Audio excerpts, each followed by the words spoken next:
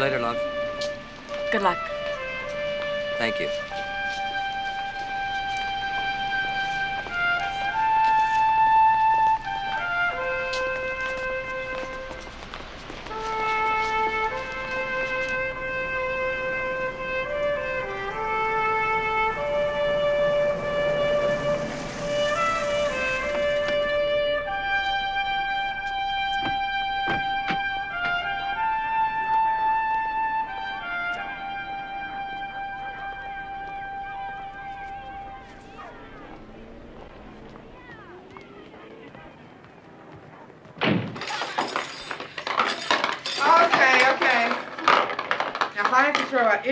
Soggy cereal, I'm having you skinned and turned into bongo dribbles.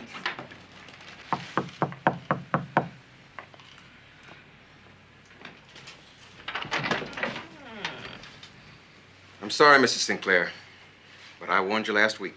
Well, I'm sorry, too.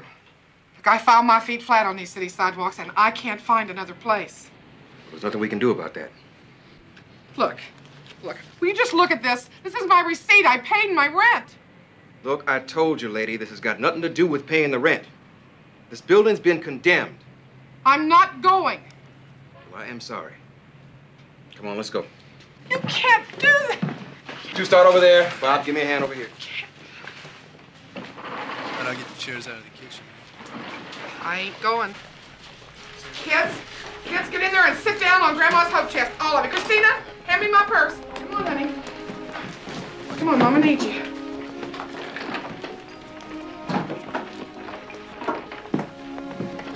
I want you to take this and this, and I want you to go call Mitch and tell him what's happening. Come on now, hurry up.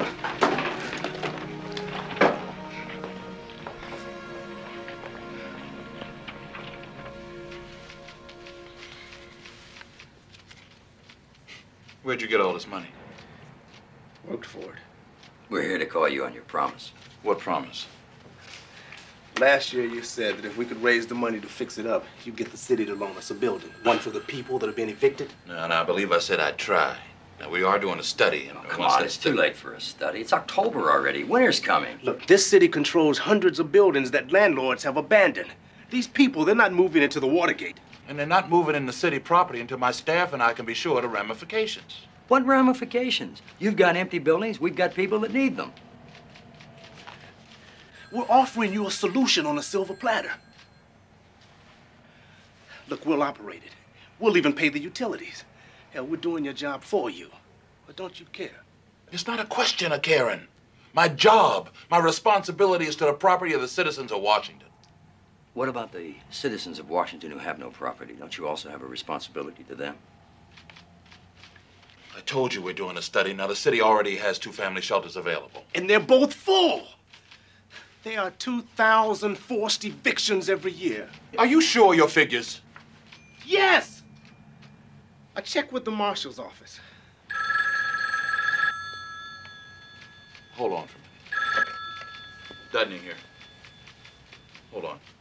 Mitch, it's for you. Thank you. Hello? Hi, Mary Ellen. What's up? Next stop, Washington Post. You want some advice? Don't. Now, I told you I was going to help you, and I will. But you're not helping me or yourself by trying to make us look bad. All right, I got it. You call the press. We're on our way. Now, that was about a neighbor of ours, Ida Sinclair. She's not being evicted. She's just being thrown out in the street with six kids. You can come with us or catch it on the six o'clock news.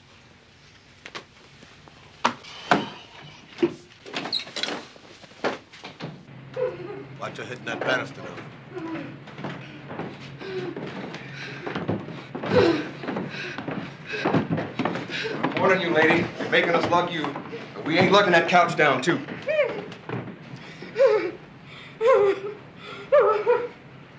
Officer, I find it hard to believe that you can't just.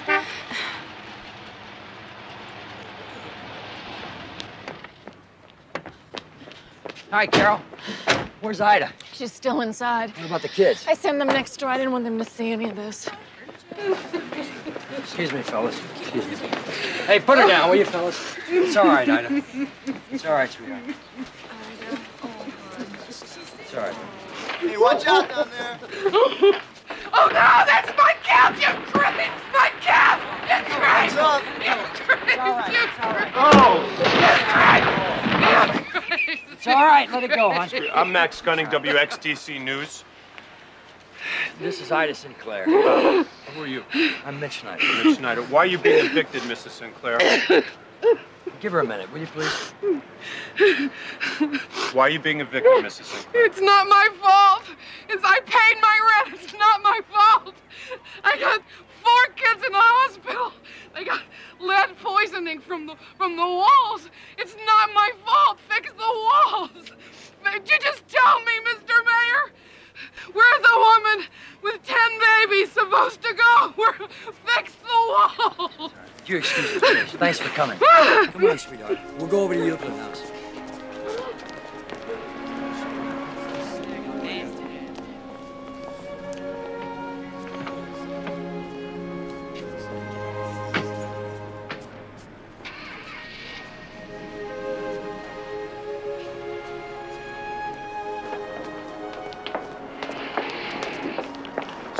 Uh, who are you people?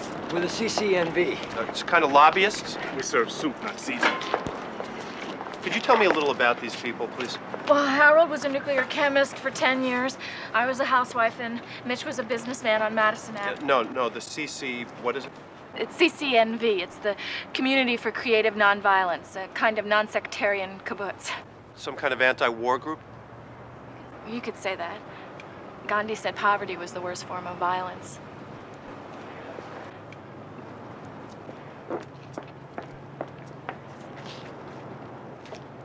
This is another of the more than 2,000 evictions that are taking place in the city of Washington this year. And yet, for this small band of zealots, the members of the CCNV, Ida Sinclair and her children would not have a place to call home tonight. This small community of activists fighting a private war against poverty is all that stands between Ida Sinclair and the cold streets. Come on. This is Max Gunning, WXDC Evening News. Okay, be be careful Head up the stairs and turn right.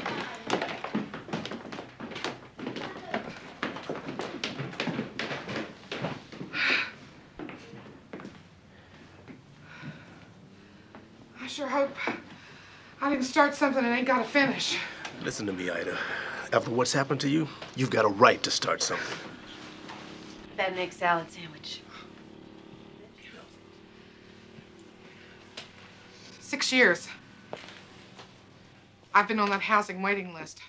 I don't want to get kicked back down to the bottom. If they even try, Will. You're what? You'll be fine. You're young and you're healthy. You haven't got anything to lose. But me, I've been scrubbing hospital floors for 22 years. I'm worn out. I, I don't bounce back. Don't worry, Ida. We'll find you a place. Honey, don't make promises you can't keep. You don't know how bad it's got. This city's crawling with people just like me. People being thrown away.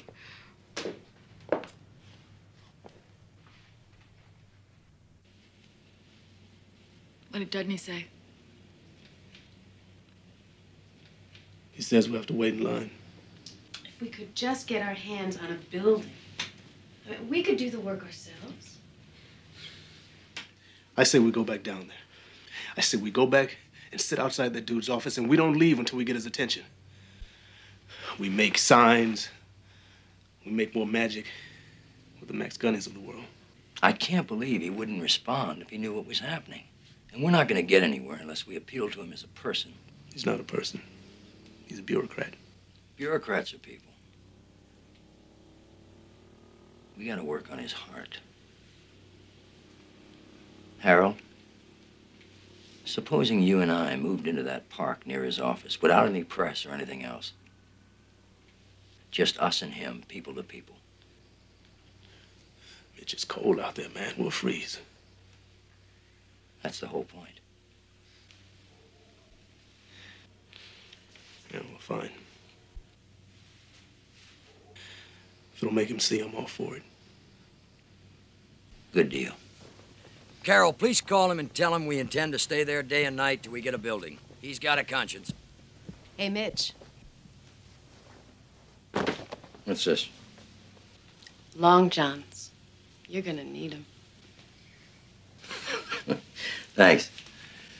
far beneath the sun. The dead beneath.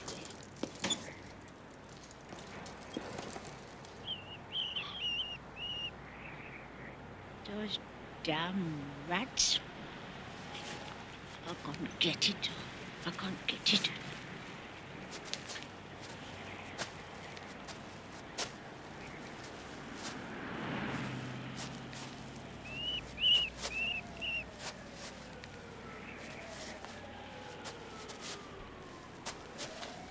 Okay, let's start.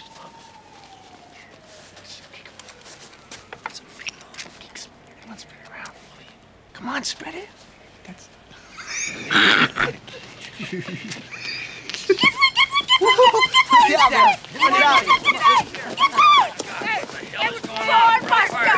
I thought they only went to the bridge, but I guess we're getting more popular. Who are you? Who is me? Yeah. I name Muriel. Oh, I'm Harold. Mm-hmm. I'm Mitch. Mhm, Hey, mhm. thanks a lot for helping us. Mm-hmm. Joel Bustin. You know what that is? Mm-hmm. It's a new stunt of fraternity got. They sent the street folk afire and they watch them hop. Oh, it does make me damn mad to see them picking on street folk, huh? And when they try to steal me buggy, I don't want nobody to touch me stuff, eh? Hm. You see this buggy? I paid two dollars for it. And even when I sleep in, look here. You see this? They can't get it. And if they try, I go right for the eye. It got so hot in it, you know. You must buy the generic kind, huh? It's as good as the name brand and it's cheaper. Really? You have food in there? Oh, yeah. Sandwiches here. Why don't you have one? No, no, I don't have my dinner ready. Take one for later. No, I say I have my dinner. But your pups is green, eh? You mustn't keep food where you're sleeping. The rats will get it. And when you finish eating, you must wash off your mouth good and your hands too. Otherwise, they'll get you. They just will nibble your lip right off. Eh? Look here. I was aiming at one with no snakes. Look out. One what? The rat! I was aiming at the rat when the snakes look out. You mean a rat near us? Mm-hmm, mm-hmm. And listen to me. You're gonna freeze your us off if you don't get some cardboard or a heating grate to sleep on. And you must wrap up yourself in plastic, huh? It keep you warm. You better start thinking out here, you know. Out here is not for the dog. When you move out in the street, eh? You becomes an invisible man. Who can help us thinking old soul when they have the underwear ads and the shop for designer ice cream to look at, her. huh? I go and see. Take care. Hey, thanks again. Take care. So young, so young, so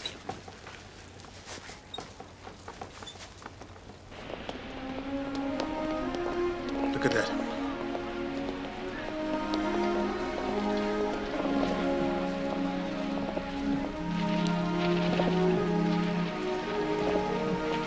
Yeah. Summer's here at the Ellipse. We're gonna need the coroner over here. Old Esther Gore has finally cashed it in. Ten four. We'll get you an ambulance and some assistance. You knew her?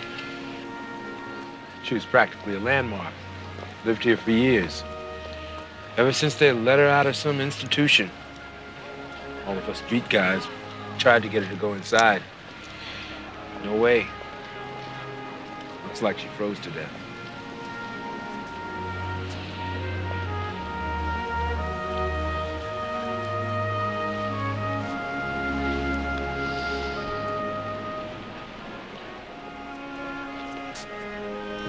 Somebody didn't give her a blanket when she could have used one.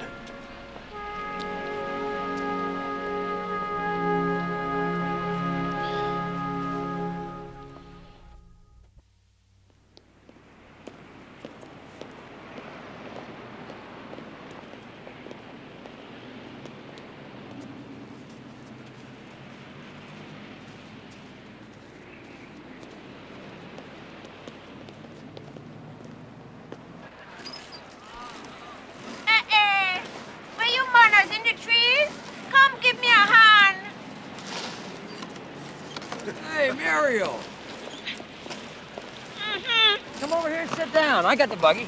I buy two of these. You know? I hide the other one with my buggy in the Secretary Treasury garage.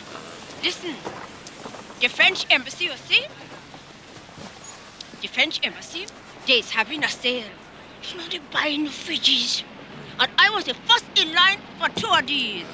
But can you imagine those movers? They sell me these boxes, all Muriel, for seven dollars a piece. eh? Seven dollars? Tiffin! Tiffin! You can pay me when you get it, huh? No, no, we got it. Harold's our uh, banker. You have the money? Yeah. How much did you say? Seven dollars. Here you go. What is this? Ten dollars. Oh, ten dollars. I have to give you change. No, you keep the change. Oh, no, no. Muriel don't. I don't mind you see where I got it. You're my friend, both of you. Huh? But Muriel don't take, and she don't get taken. I pay seven, you pay seven. Here your change. Two dollars. Besides, Officer Summers tell me you're taking care of me pal Esther. You're claiming she ashes, yes? yes, ma'am. Mm-hmm. Thanks. Esther was crazy, you know. Crazy? Oh my, she was crazy, but good. Hmm? But you see what I mean? You have to have something to sleep in. Hmm? If you don't get the frost bite, it bites you. Look here, you know, I have some crayons. You paint it up pretty outside, make it look nice. I mean, if you like. Huh? I like. Thank you very much. Come, son. You help me get the other box of my bug, yeah? Okay. And listen me. You take care of me bug, yeah? I don't want nobody touching me stuff. Oh, nobody will touch it, I promise. All right. I gone, see?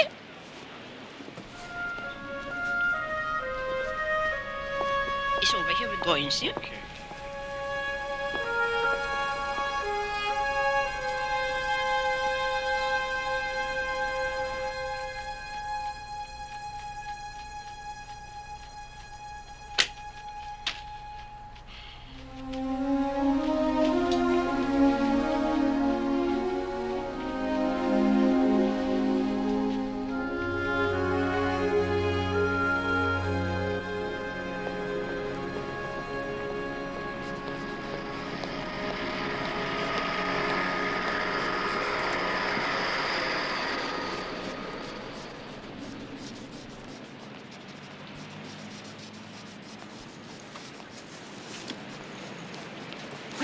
Hey, hello.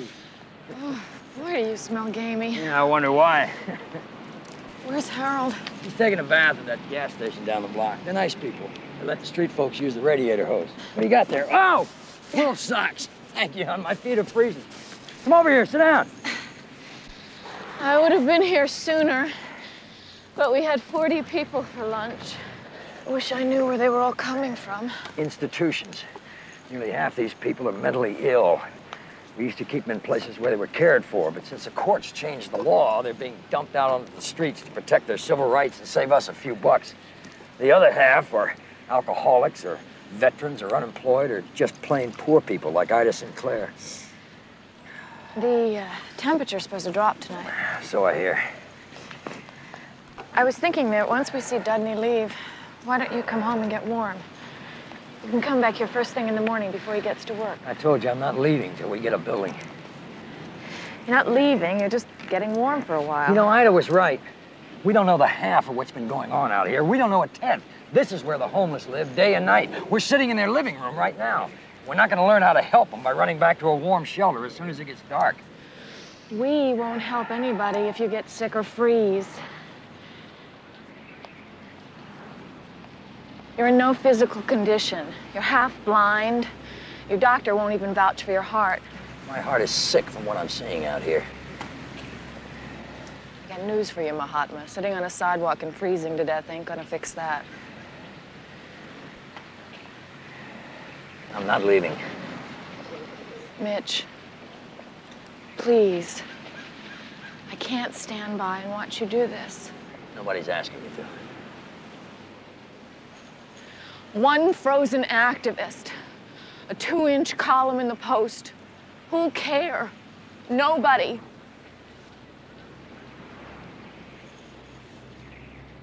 If you keep pushing me, you're gonna push me right out of your life. You gotta do what you gotta do, Carol. Damn you! This is a relationship.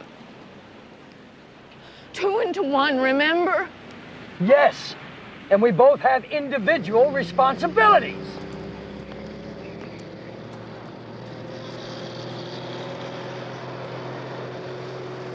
Well, I'm sorry. I, I can come back later. No, no, no. It's all right. Uh, Mr. Dudney, this is Carol Findlay. I was wondering if you wouldn't mind coming up to the office, if it's convenient. Now? Yeah. Sure. You better wait here for Harold. Try and stay warm.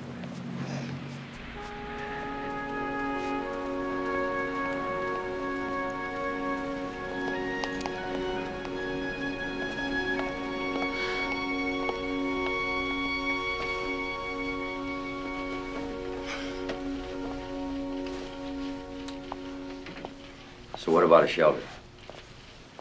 Well, I uh, got Mrs. Sinclair and her children an apartment. Oh, thank you. Thank you very much. I know she'll appreciate that. Now, what about a shelter for the homeless?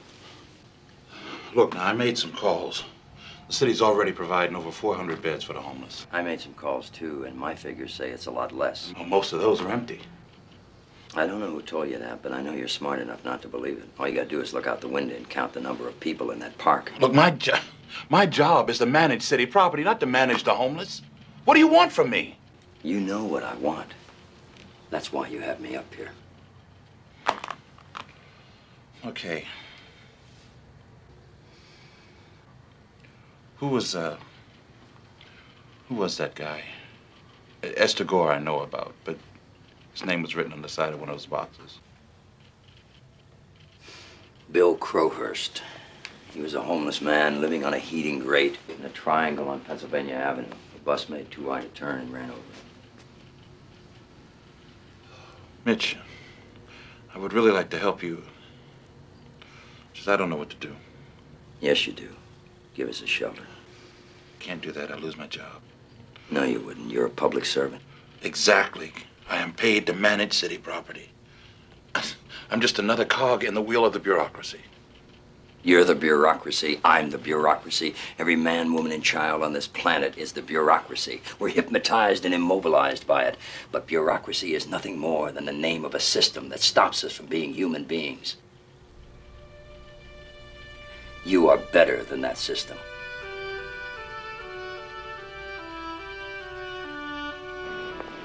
He's been in there a long time. There he is. Come on.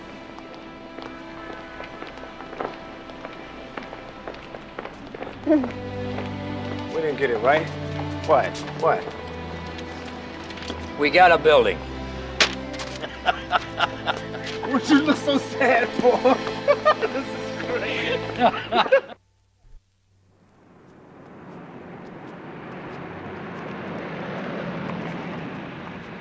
want to thank you for coming over to help us. Oh, shoot. Way I figured that Dudney person wouldn't have done nothing to help me find an apartment if it hadn't been for you people. I mean, the very least I can do is help you fix up your shelter. Mitch, you're sitting on the wallpaper. Come help Mom. Oh, no wonder it's so uncomfortable. You shouldn't have done it without telling us. I don't know. It sounds like Ida got a pretty good place out of it. I'm talking about the windows.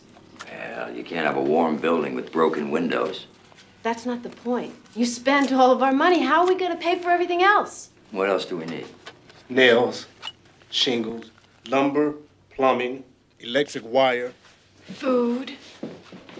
I had 60 people for lunch yesterday. Where are we going to find the money to keep feeding the people who show up at our back door? What I want to know is where are all those people sleeping? What if we ask the churches Ask them what? to open their doors and let us use them as temporary shelters, at least until we get this place finished? Finished. How are we going to finish it when you spent all our money on the windows? Why don't we make up some baked potatoes and tea? At least we can take it out to warm up the people if we can't give them a roof. By the way, you guys are doing a terrific job. Don't let me get in your way, you know what I mean? Get down.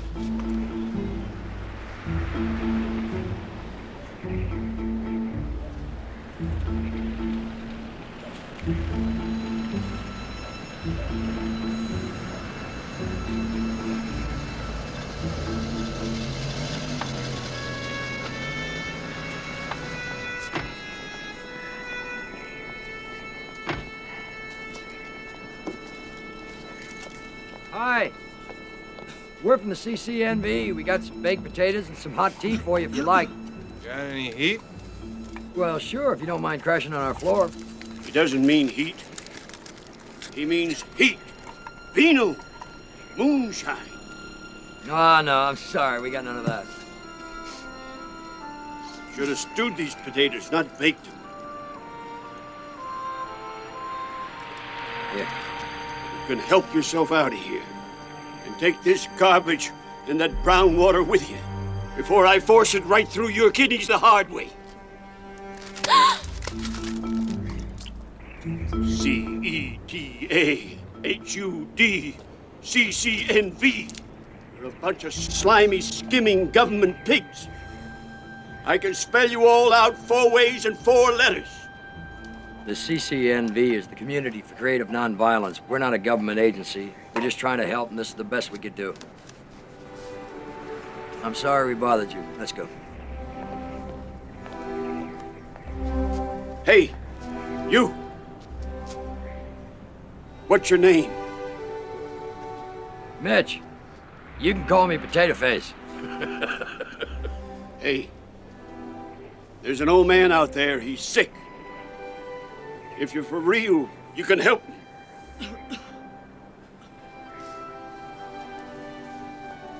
Come on. Thank you.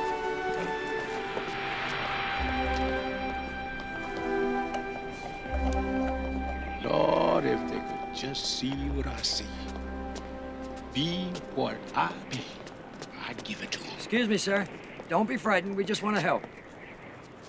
Now, don't take me to the hospital. Not there. Last time at the hospital, they made me so scared I almost messed on myself. Why don't you come to our place? What you got there? Some hospitality. You can get warm, and we can change that bandage. It's okay. We won't hurt you. I'm Mitch. That's Carol. Hi. Yeah. Long as it ain't the hospital. Don't worry. Come on, I'll give you a hand. Up you go. That's it. Feed my little lambs. Jesus always be saying. Watch your footing. Willie. White keeps them warm. That's it. Another one. One more. Them snug. That's it. One last one. You got it. Our car's right over there, see? Come on, you got it made. So what's your name? Reverend St. Keys. Take it easy. You promised. Now you're just going to change the bandage, right? Did they um give you anything for this at the hospital, Reverend?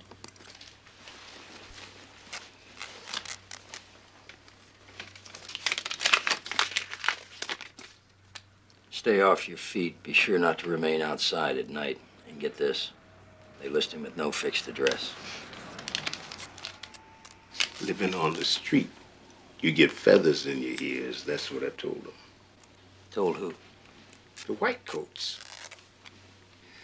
I told them, I'm not schizo, and neither am I.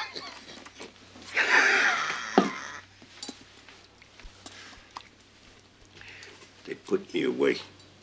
Said living on the streets was crazy. Then a new man come and let us all out. And you know what I say? Nuts. You sound like a pretty smart fellow to me. Well, I may be crazy, but I ain't stupid. Mitch. Excuse us a minute, please.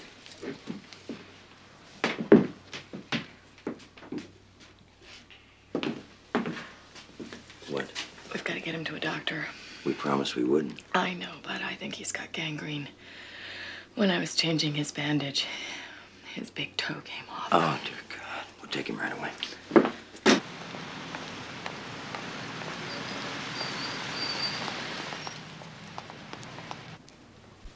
What time is it?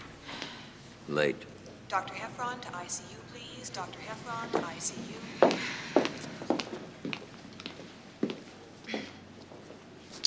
Couldn't we at least get him a bed? We've been here for over two hours. Uh, Camp? Uh, Chris Camp. Uh, do you have insurance number? Oh, good. Uh, go right in there. we were here long before him. I told you, all the rooms are full. I know what's going on here. It's hands off time. Now, is it because he doesn't have any insurance or is it because he needs a bath? What if he was your father? Where do you think you're going? Find a doctor. This is a hospital, isn't it? Don't trouble yourself, ma'am. I know you're busy.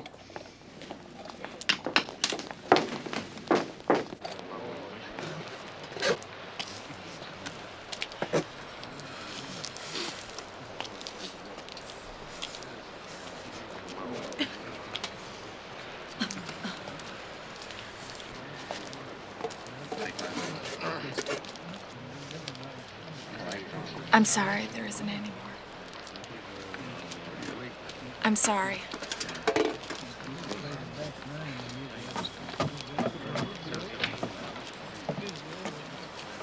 And if we're lucky, kids, and if the low does what I think it'll do, it'll be no school for you. So what's the bottom line? A high tide Ain't gonna 20, be no school if they don't learn the golden rule. Cause earthquake, wind, and fire is gonna blow this world sky high. No lie. We're calling all the churches in Washington. We're building a shelter, but it's not finished yet. If we could just get a few churches to open their doors. I'm sure you are doing plenty, but we all could do more. No, no, for the homeless. Vagrants are just people who. Never mind. Morning. Got 70 people fed, 20 more showed up, and we ran out of food. Excuse me. Anybody find Muriel? Harold's still looking. Did you vote? Yeah. Well, she's a survivor. You gotta look on the bright side, right?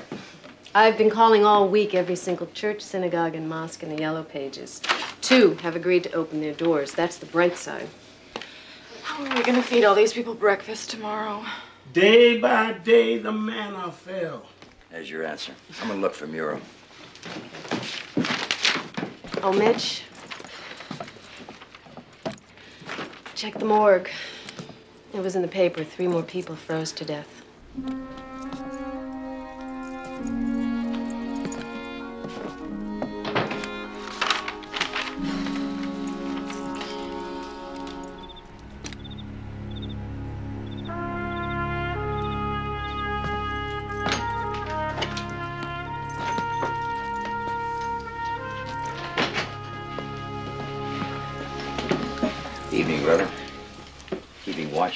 Watch over your flock by night? Did you find her? No. And he shall give his angels charge over thee, lest thou dash thy foot against a stone. Mm-hmm. That's a sign. You saved my foot when they was gonna chop it off. Good. Maybe you could use it to kick an angel for me. One that delivers groceries. Oh, by the way, I didn't mean to ask you why you wear those keys around your neck. That's my hobby. Ain't you never had no hobby? See you in the morning.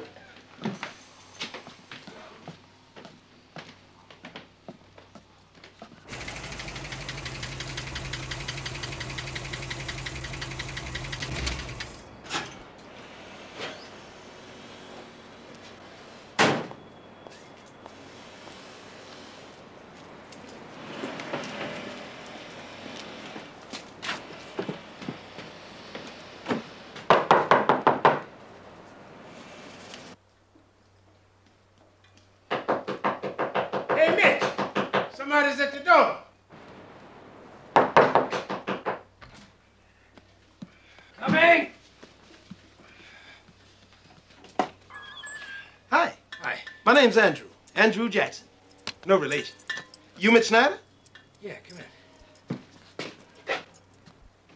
Uh, Ida Sinclair told me you could use some help. My pickup's out back. It's full of food.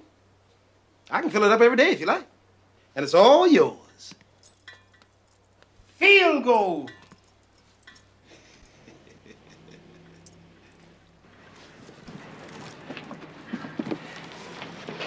Hey, Brussels sprouts. I know they still made these. So many. this is nothing. Hey, now that garbage at Gourmet Shop, now that's some serious food. You know, I've been feeding my kids on gourmet store food trash for over a year now. Hey, you! What the hell do you think you're doing? This ain't no restaurant. We're just taking the garbage. No, you're not. Hey, hey, come on. Oh, okay. Take, take it easy. We're out of here.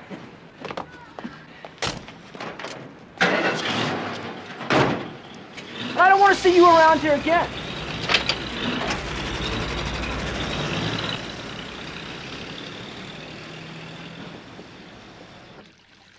Carol?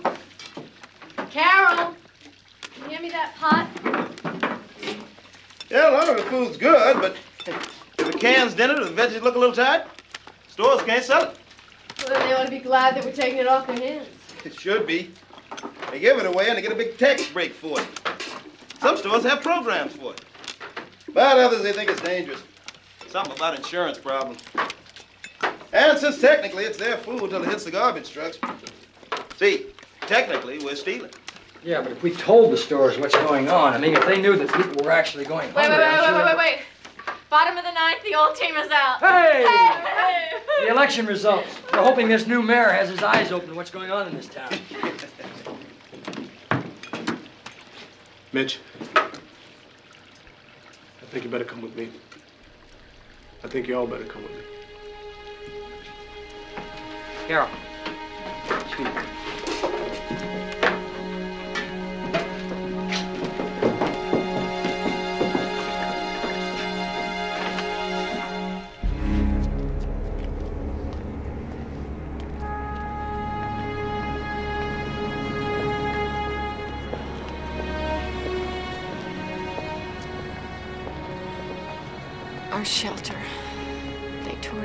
Shelter.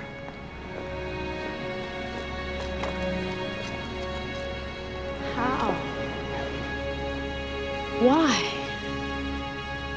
Why did they do this? What difference does it make they did it?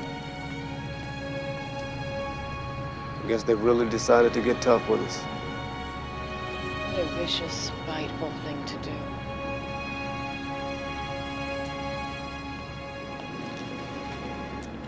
What are we gonna do now? Where are we gonna put all those people?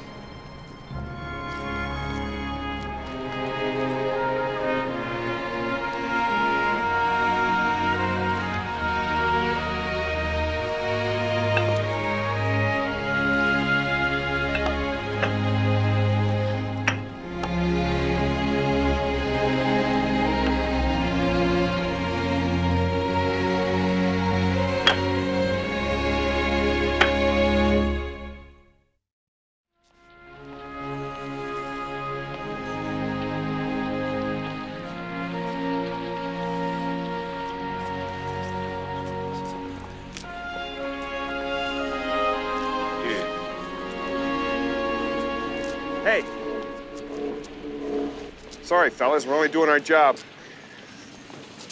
Okay, you fellas move along now. They don't want you here. Where do they want us?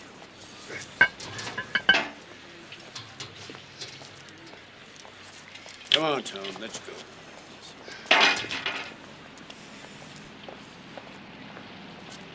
Smart boy! Keep your head warm, keep your body light. Muriel! Where the hell have you been? We've been looking all over for you. The DA uh, had a wing ding, and Miss Asta asked me to be decoration on top of the cake. Good to see you. step into my office. Oh, yes. It looks very warm It here. is warm.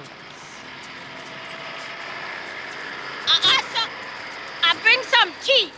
Good deal. You know, I went to the post office to pick up a check, and then I went to the hotel. When I get my social security check, see, after posters look damn good to me. Thank you. Expensive, eh? Twenty-three dollars a night, the damn thief. They got you by the naughty, so What? they got you by the naughties. How we used to pay first month rent and last month rent, huh? We don't have it. I hear they knocked on your house, darling. I'm sorry. Ah, no, no, not my house. It was yours.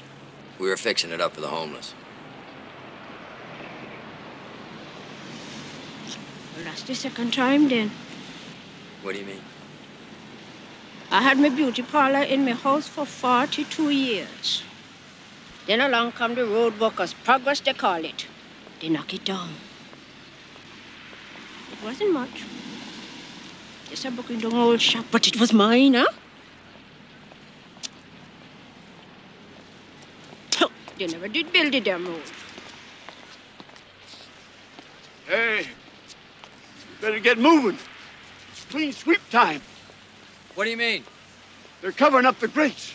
When the neighborhood gets too crowded, there's too many of us hanging out. They lock up the heaters.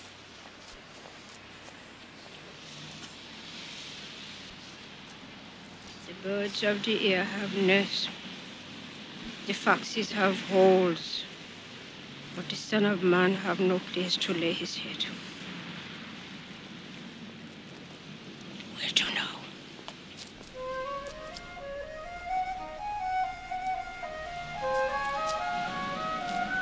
I know. Give me a hand. All right.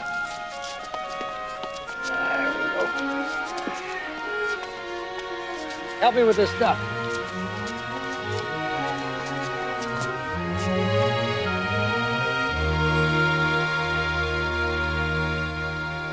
Well, this is a federal office. It seems to me that your business is with the city. That's like playing one man ping pong. There's no time for games. It's winter now. People are freezing. They need a roof. Any roof. We want the National Visitor Center.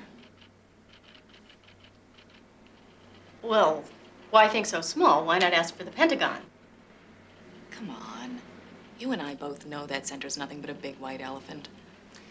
This office is not about to turn over a multi million dollar investment to a bunch of street people. An investment that's totally wasted.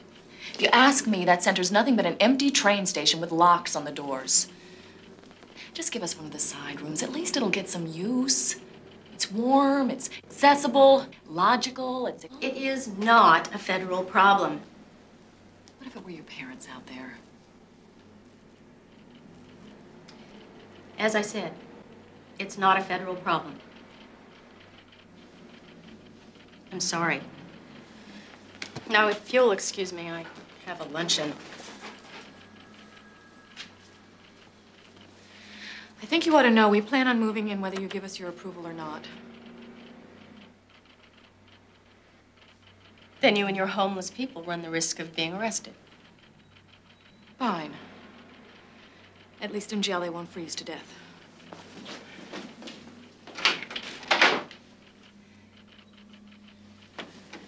Sad, isn't it? That in this incredibly rich country, that's what it takes.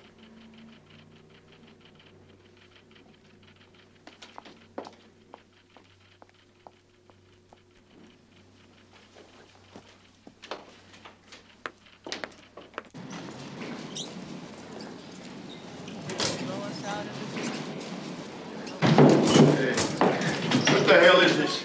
We can't stay here. My friend Carol is meeting with a very powerful lady in this agency. I'm trying to get him to give us a shelter. Give us? What's in this for you? One thing you learn out here is that everybody's out to get something. I don't know what you're out to get, but I'm watching you, boy. Take it easy, will you? Here she comes. Carol. How'd we do? Oh, it was a total head-on collision. We gotta think up a new strategy. She's still there? Yeah. All right, fine. We're all going in to see her together. Uh, Mitch.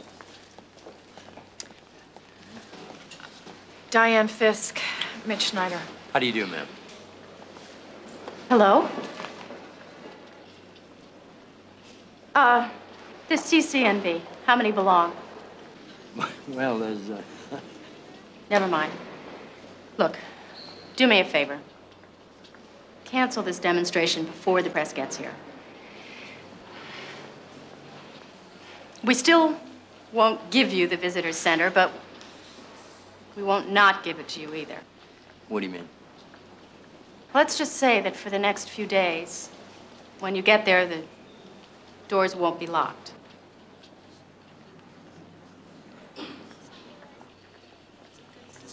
Is it a deal? All right, it's a deal. Thanks very much. Sounds good. Got it all right. Bless you. Bless you. It's a start.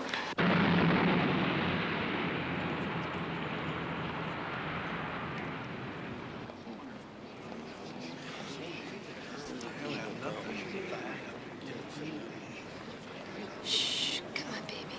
Come on, have to slow water. Come on, JR. What's the baby name? JR. J.R. Come on, JR.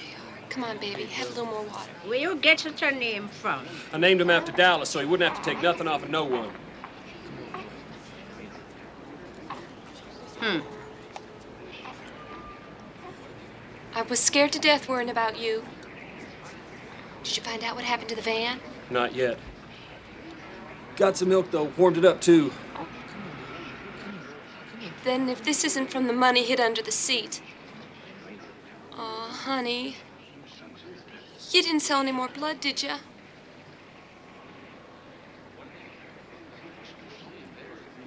Billy, honey, you can't do that no more. You gotta promise me. You run out of fuel, you'll stop.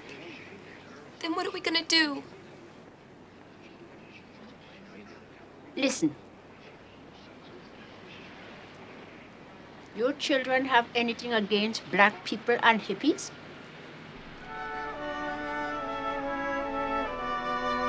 Hmm?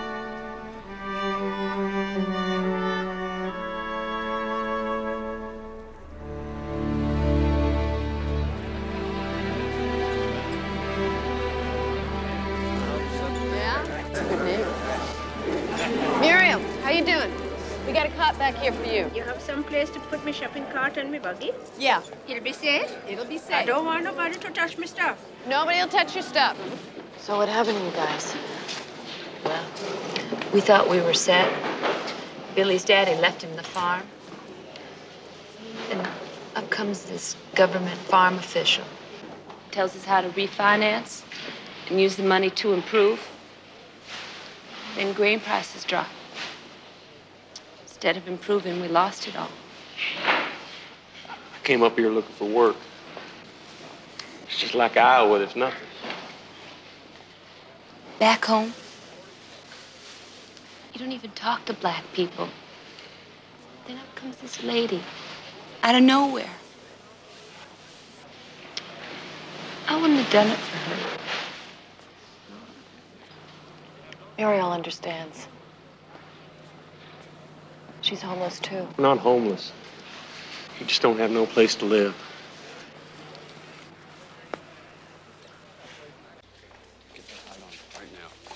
Right in here. Yep, yep, yep. That's I got it. You We're- got it? we're on. Yep, yep. Okay, that's it. Just take it to faces, get the faces, and then pan over here. Keep it going. That's good. All right.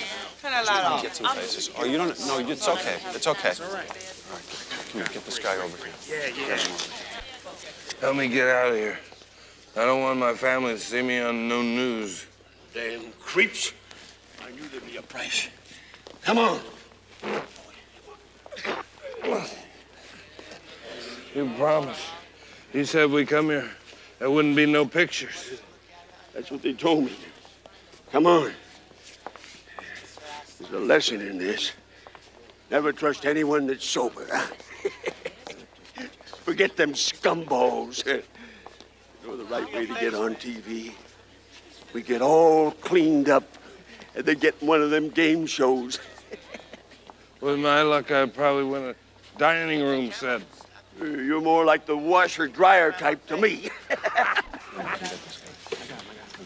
I got a mission on second and D. You can quote me. See? Here's the key. Sir, how long have you been homeless? St. Peter's pearly gates need a roof, don't you know? Yeah, sure they do. And take that Tower of Babel and beat it.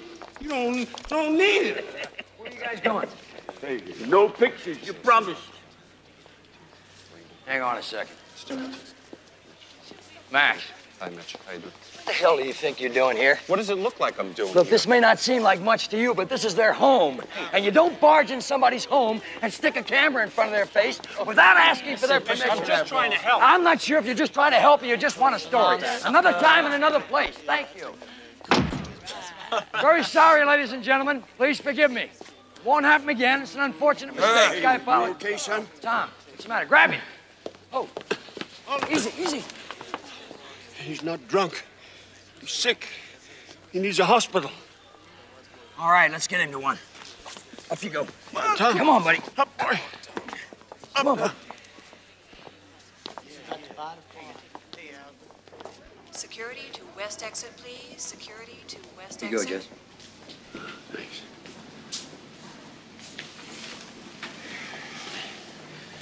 You really think he's going to be okay? We'll make sure of it, don't worry. I hate it when you care about people. I really hate it. Yeah, I know how it feels. Do you? Sure. I was married once. and I have two sons. If anything ever happened to one of them, I know, well, Tom's not your son, but you care for him like a son, right? What happened to him? Your wife and kids, I mean. Oh, they're in New York. She's remarried, and they're very happy. We're friends now. But when we were together, I had a big job on Madison Avenue making lots of money. But I couldn't make it work inside. I hated my life. It was contagious. I woke up one morning in a cold sweat. I knew I had to change direction. She kicked you out, huh?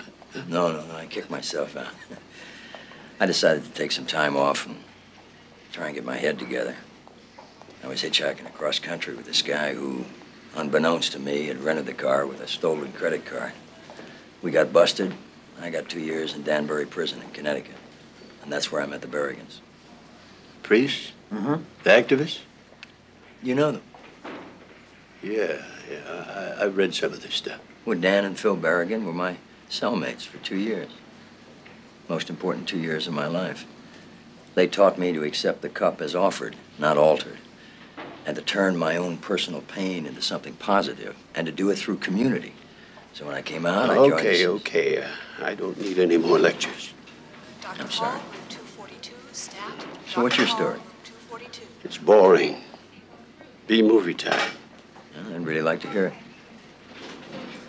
Yeah, you and Walter Cronkite. you want some advice?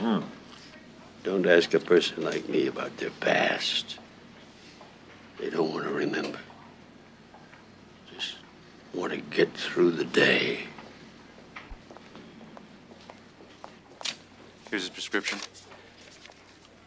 After you fill it, I'd like you to. Uh, How's he going to fill a prescription when he doesn't have any money? Take it easy, Jesse. We'll work it out. do what you can do. Thanks, Doc. Nurse Hanks, pick up line three, please. Nurse Hanks, line three. Did you know that Tom would qualify for his assistance checks if he had an address? But in order to qualify, he has to get a damn address. You can use our address, okay? Now listen to me. The most important thing right now is for you to keep up your spirits for him. You hear me? Jesse! Jesse! Jesse! Get it in, Jesse! It's okay. Just, just go on back to your rooms. We'll get it all taken care of. Get me out of here. The curtain, I peeked behind the curtain. Sammy Taylor's in there. They put me in a room with Sammy Taylor dead. Keep your spirits up, huh? See why it's easier to pour them through the neck of a bottle?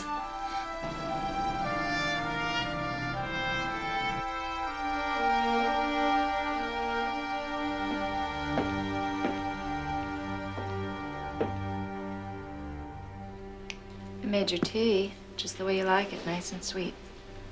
Thank you. How was the take today?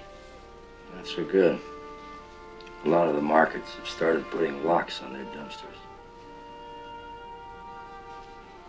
What are you doing? Making a cross for Sammy Taylor. Who's that? Friend of a friend. He's being cremated today.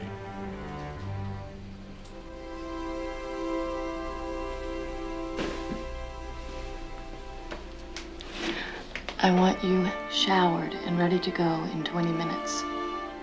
There's a Capra festival playing downtown. Oh, sorry, I'm too busy. This is non-negotiable. All right, you win. What's playing?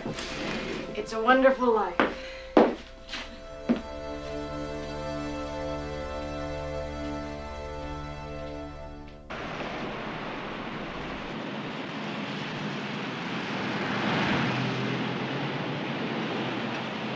Hey, thanks, Carol. That was fun. I haven't been to a movie in years. You want to go to another? There's a new Fonda picture playing in Georgetown. Let's check out the visitor center first. I just want to make sure Mary Ellen and Harold have got everything under control. You can't throw these people out on the streets. We have permission to be in there. They've got nowhere else to go. What is this? Hey, Doug. What's happening here? Talk to the man at the door. I don't know. What's going on, guys? Christ. Excuse me, fellas. Excuse me.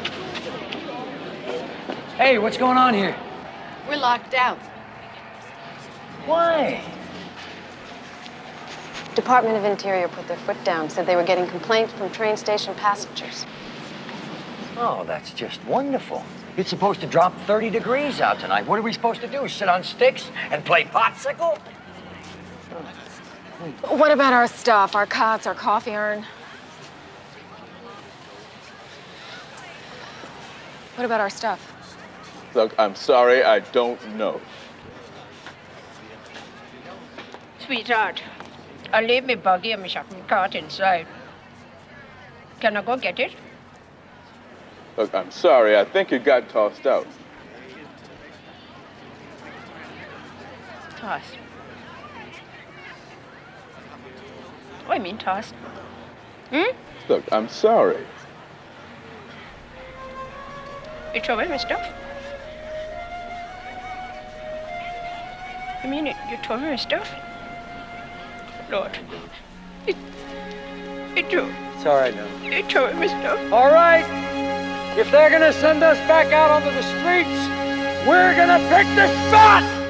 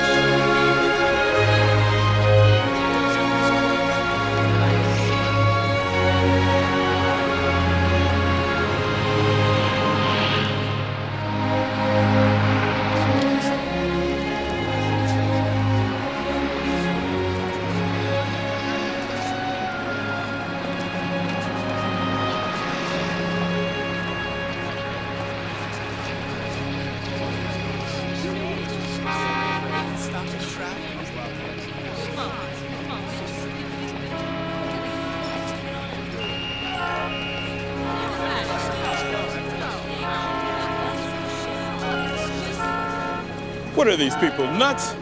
Look, looks like there's going to be trouble. You better go call it in. Yeah.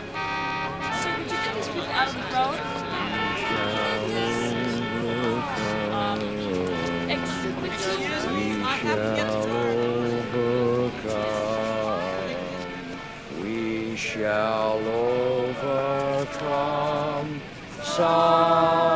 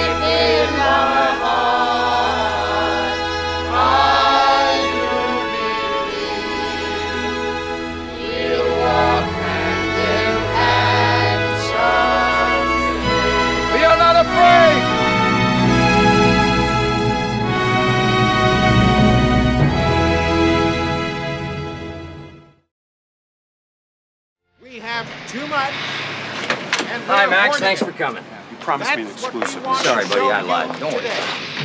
They're using cheese as landfill in Tennessee. Tons. They're wrapping falls apart, or it just sits there until it rots. And why not? The government surpluses are astronomical. Miss Holmes, would you tell us what they are, please?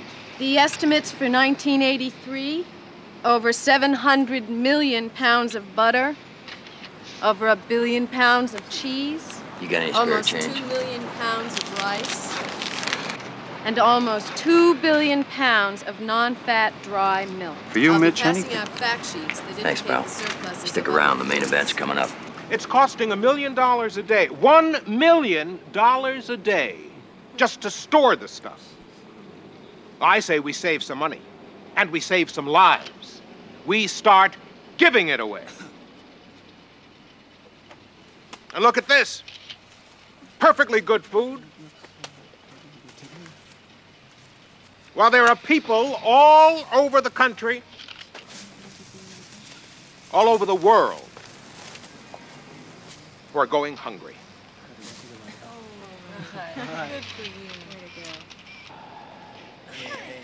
Yes, hello. Is this the executive office of Bob's Market Chain? Yeah, well, listen, sir, I don't know what to make of it, but there's a bunch of people in the garbage dumpster behind your store on 8th Street. Yes, sir, that's correct, and I just thought you ought to know about it. Oh, not at all, sir. Just doing my Christian duty. Thank you, sir. Have a nice day. It's common decency. And it's good stewardship. At least if it's getting tossed, why not toss it to some hungry people? Food banking. That's the idea. Passing on excess products to people who are really needy. But not enough stores are doing that now.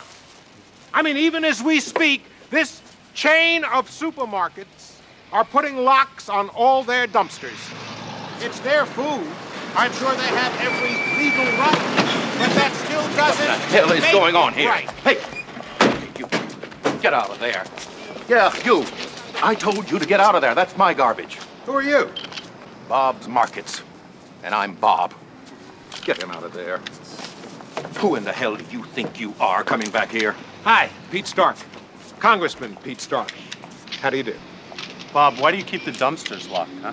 Well, I, uh, uh, Sir, are you aware of how much good food you're throwing out? keep it Well, uh, Why is I had, well, the dogs, uh, rodents, uh, I couldn't resist the urge to call him. I hope you don't mind. Mine. You're helping me to help people, and I get to look good besides. What more could a politician want? I don't know. We called every office on the hill, and we were the only one who showed up. Anything I can do to help? the health department. What would the health department say about it? You think it's healthy for people to go hungry? Well, I can't just give this garbage away. Why not? Uh, well, overhead. I mean, uh, you know, company policy. You're at the company, Bob. There is one more thing you could do. One of these things. Besides, it, How about a lunch? problems I'm having, big ones. Well, let's make sure the reporters are taken care of first. No, not now. I mean later for the whole Congress. If you could help us organize it, I'd like to feed them some of the things we get out of the dumpsters. Get some of those heads on the hill out of the clouds. What do you say? Would you get out here? Get away from there. That's a very interesting idea. And you haven't tasted Carol's cooking yet. She'll give him a meal, and I'll give him a message. Let's talk about that. Okay. Called jicama. It's like a Mexican potato. It's very sweet. You like it? You believe it all came out of the trash? Mm-hmm. just going to be wasted, thrown away. nice talking to you. This is unbelievable. This is garbage. Oh, yeah? We feed hundreds of people every day on this trash. It gives new meaning to the term junk food. Seriously, Senator, you know, 10 people froze to death last winter, and even with the new shelter, it's like a flood. Every day there are more and more people, so we need more shelters. It's as simple as that. Listen, you want my advice? Stick to these food stunts. Everybody loves food. you know, this quiche isn't bad. Mm-hmm. Hey, Pete, you know that surplus cheese you were telling me about? Let's talk to our committee. Give some of it away. Hmm? Great idea. Thank you, Senator. Excuse me. You know, that guy has the clout to set up a congressional hearing on homelessness. We've been thinking local, Carol. We got to start thinking of ways to focus on the problem all over the country. Mitch, meet Susan Baker. How do you do, ma'am? Hello. Carol Fennelly? Carol? Her husband's Jim Baker, the president's chief of staff, and Susan is involved as a spokesperson for people in the private sector who want to help the homeless. And this is Melvin Mander. How are you, sir? It's nice to meet you. Carol? Mel is part of a special task force being formed in the uh, Department of WHS. See, the idea is to match surplus government food and property to needy situations. Good deal. We need all the help we can get.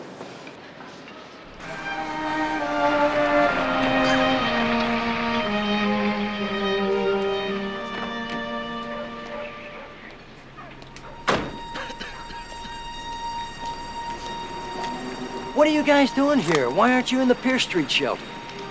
Would be, but it's full.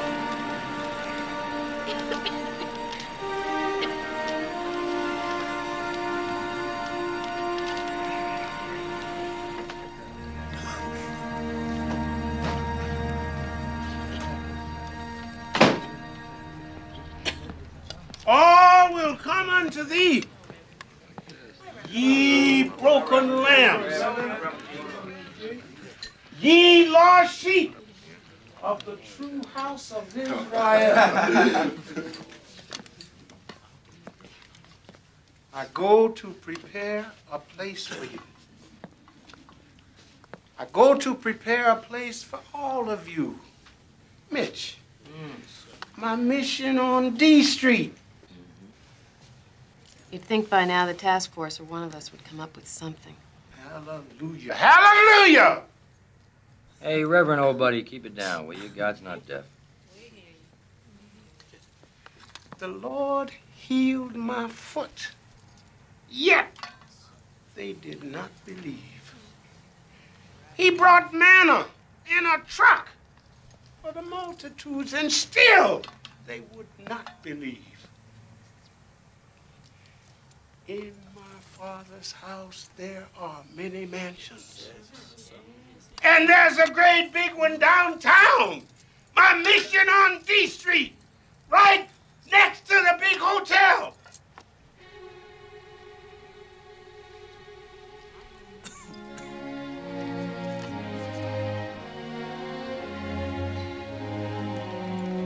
We ought to check this out. Lead on, Reverend.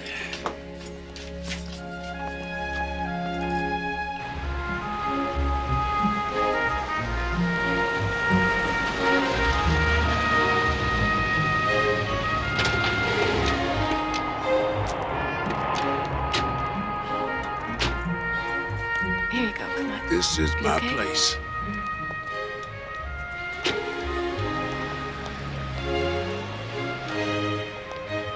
My mission. My mission.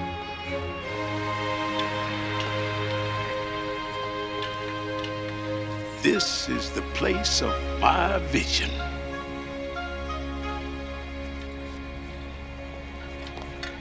Nearer, my God, to thee. Last I got to second and deep. Let me find this key. My old me, here we be. That is. Yeah, you did it. Good. Beauty.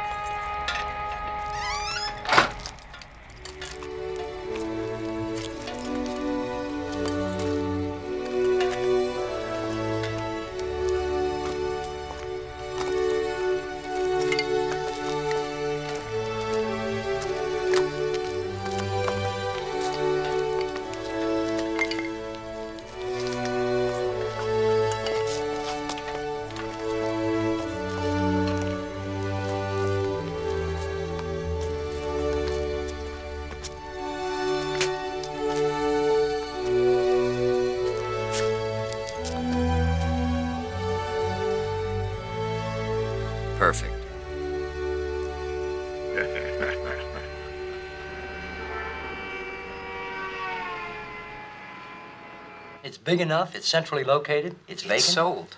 Or at least it will be by April 25th. So this is December. We only need it between now and then. The utilities, Mitch, they'll cost at least $5,000 a month. We'll pay them. All we need is a key. Actually, we don't even need that. The plumbing, uh, the roof, it's unsafe. We'll fix it up. We'll give it back in better shape than we got it. Hey, look, in a few days it'll be Christmas. Please, just call him and ask.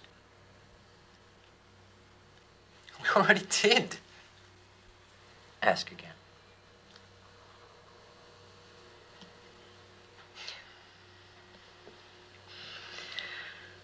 Why don't you uh, try it one more time, Mella?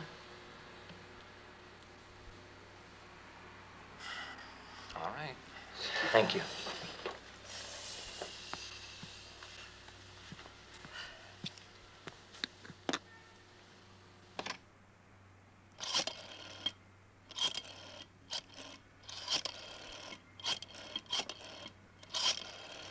Mitch, $5,000 a month?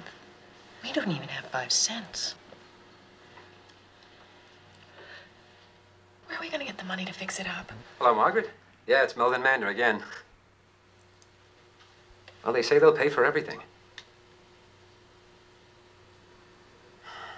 It's Christmas, Margaret. Come on. What do you say we make some room at the inn, huh? Thanks. Bye. She says they gotta make some repairs.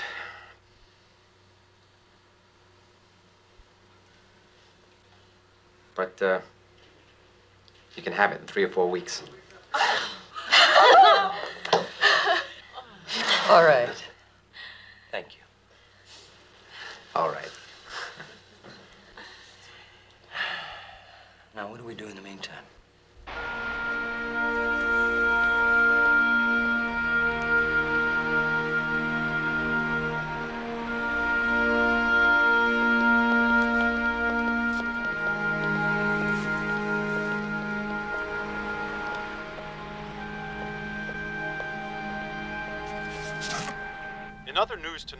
Tonight, Snyder, locally famous for hunger strikes and other activism on the part of the poor, finally had something to cheer about this Christmas season. We are very happy to announce that the homeless of Washington are getting a temporary shelter on 2nd and D Street, but unfortunately, this shelter won't be ready for several weeks. And we just learned that the temperature is supposed to drop 20 degrees tonight. That means some people could freeze to death. And you know, we have whole families out here now men, women, and little children. So we need your help. We need your ideas. We need your prayers. I guess what we really need is a Christmas miracle a miracle on 2nd Street. We want to thank you for what you've already done and wish you a Merry Christmas. It's a nice piece Max did. Miracles do happen. Let's hope it answers This is our Max prayers. Gunning, WXDC Evening News.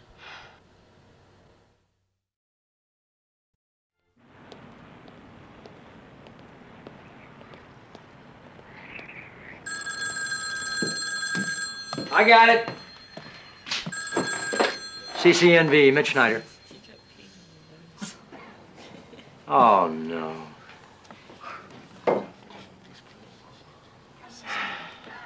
Yeah, I'm all right.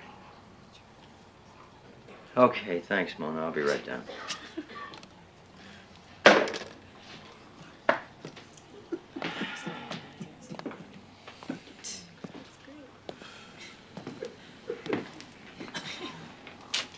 Was Mona Sanderson at the morgue. Um, they've got an old black lady down there with a red Christmas corsage, and they think it's Muriel. They want me to come down and identify her. I'll go. No, it's all right. I said I'd go.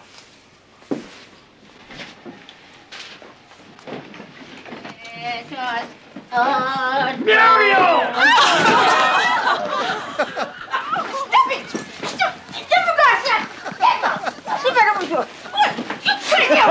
Let go! For such foolishness. You're crazy? Or what? You see, the coroner's office called, and they said that they had found a lady with a red corsage like yours. We thought. You stupid. You mean this? You stupid. I make one like this every time this year. Must be about 9,000 little old black ladies down there with the same kind of corsage this time of year. oh, come, let us adore him. Oh, come, let us adore him. Merry oh, Christmas. And what is it? Oh, Mitch, some crackerbox want to loan you a miracle.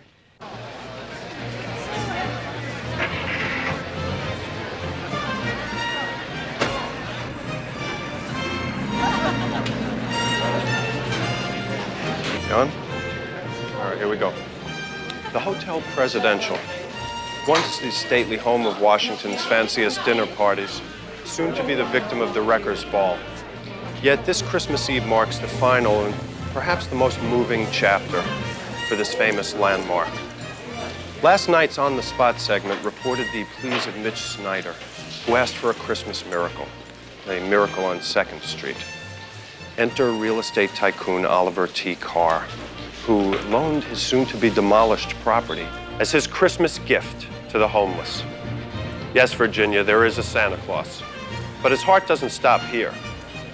Cars are lining up around the block with people dropping off food and clothing. Restaurateur Dominique has sent his limo with 10 cases of his famous Senate bean soup. Volunteers are doing temporary repairs and offering to cook Christmas dinners. Woody's department store delivered nearly 200 blankets, and the U.S. government has sent 500 Army cots. And what do the homeless have to say about all this?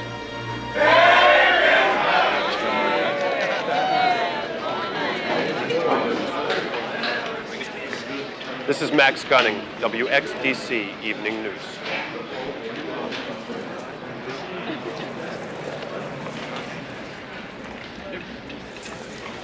There's no heat. What do you mean there's no heat? It's a holiday. They're booked solid. They said they'll be the first thing tomorrow morning. Tomorrow's too late. Yeah, Boys, let me tell you, we've just ordered some food oil. My people are going to have it delivered within an hour. Oh, thanks, Oliver. That's We're gonna be warm. You bet. Thanks again. Now, tell me, what are we going to do about all these holes from the air conditioning? We'll staple them up with everything we got. Plastic bags, cardboard boxes. Mitch, we got 30 more rooms to go. You got enough volunteers? Yeah. Good deal. Keep it up. All right, all the clothes go over here. If you got any food, it goes downstairs. And thanks. Thanks very much, all of you. Mitch. Thank you. Would you stop acting like such a little general and relax? I am relaxed. What's this? It's a piece of holly. Merry Christmas. Merry Christmas Come and help me hang some mistletoe.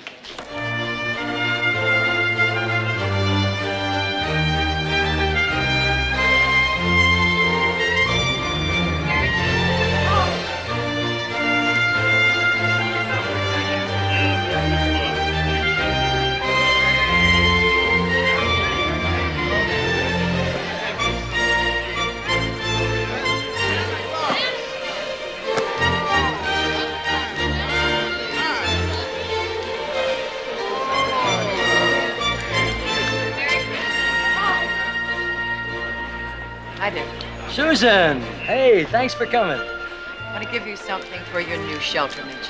Merry Christmas. Oh, thank you. Merry Christmas to you. God bless. People are good. They'll respond once they know there's a problem. Yeah, that's the problem. Hey, look at there. Cracked crab and caviar. The Arabian embassy sent that over. Hey, you see that old lady over there? That's Muriel. She was a beautician most of her life. You look real pretty. You have to look pretty, you know. It's Christmas. If you treat people like people, they'll act like people. Boy, I wish this place were permanent, you know. This is what we hope to accomplish with the real shelter. Hey, come on, meet some of these folks. What you asked Santa? Yeah, look at that. Gloria? Merry Christmas. Say hello to Mrs. Baker.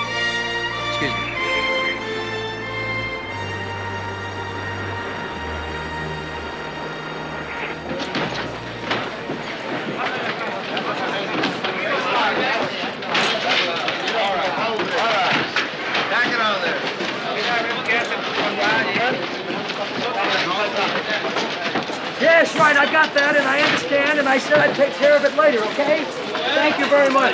Bye-bye. I closed up the store and you said it'd be safe there for Sunday. Now what you gonna do about it? I closed up the store. All right, all that money. All right, Snyder. What you gonna do about it? Hey, Snyder, I told you before this building was not to be open until we had an inspection. And what's that gonna prove? It's a damn fire trap and everybody knows it. I don't have the money to fix it up, and I don't know where I'm gonna get the money. What's the problem from there? That's that pipe I was telling you about. That's what's left of the second floor toilet. See what I mean? I am having a very bad day, and I'm not gonna spend any more of it fighting with you guys. If you wanna move us out, fine, but if you do, I'm moving 700 homeless people onto your front lawn. That's not a threat, it's a promise. Now, if you'll excuse me, I've gotta go fix the toilet. Hey, man, my old lady here, she's pregnant. Uh, I gotta get a plate for Yeah, her. I'll talk to you about Hey, Mitch. Listen, we gotta get a ramp outside. I can't get this wheelchair up them steps without help. Where are we gonna go on April 1st, hero? We gotta be out of here by April 1st, right? Yeah. Mitch, look, I can't fix this pipe. We're gonna have to get the plumber. Look, give me a minute to be alone, okay, guys?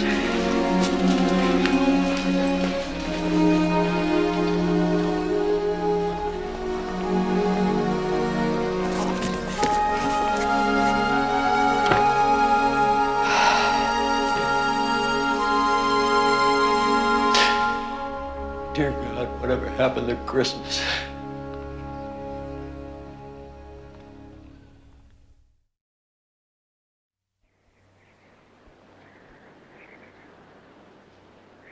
You can't throw 700 people out on the street. You just can't do it. April 1st. You knew you had to be out of that shelter by April 1st. Yes, and I appreciate the extension very much. Believe me, I do. But let's get something straight. It is not a shelter, it's a holding tank. And besides, even the Constitution has amendments. Look, if you take that building away from them, they'll have no place else to go. How did we get into this mess? Don't you think I'm asking myself that?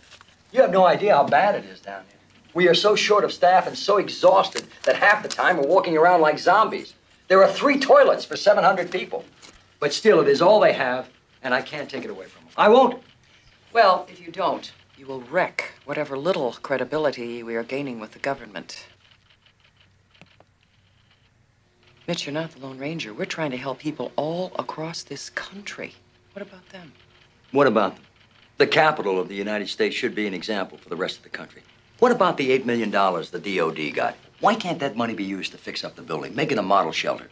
Because A, the DOD spent the money rehabilitating military installations, and B, They spent homeless people's money on military installations? not so fast. They rehabilitated those barracks for the homeless, but that's not the point. The point is that you and your people have to get out.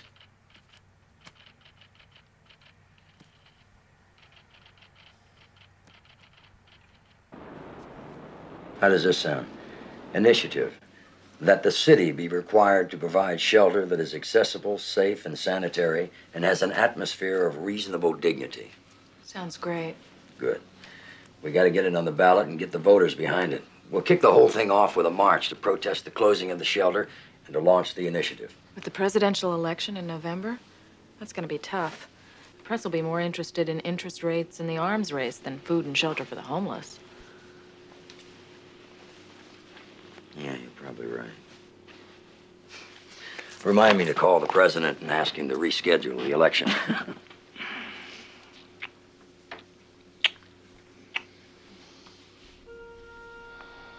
I'm gonna go on a fast.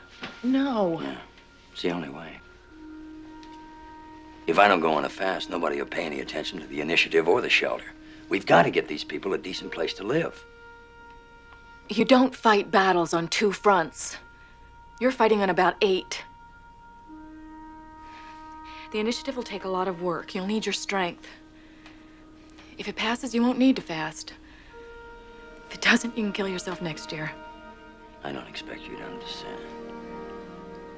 And I don't even expect you to believe it's right. But I cannot not do this, and I cannot make another cross. And I cannot carry another one. Not yours. I will not stay here and watch you commit slow suicide. And what about the congressional hearings? You insensitive, manipulative bastard!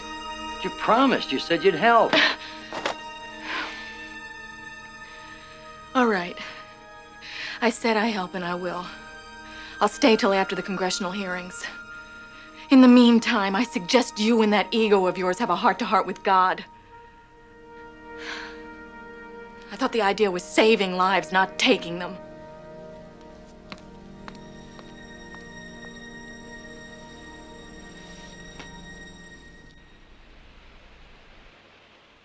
First, an accurate approximation of the issues.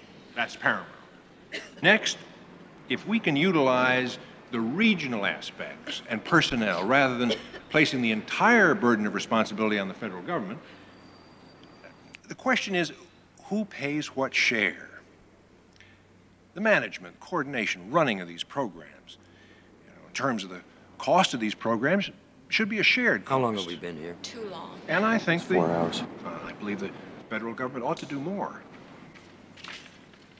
And now I wish to acknowledge the significant contribution made by a number of individuals, both in subcommittee and in the administration.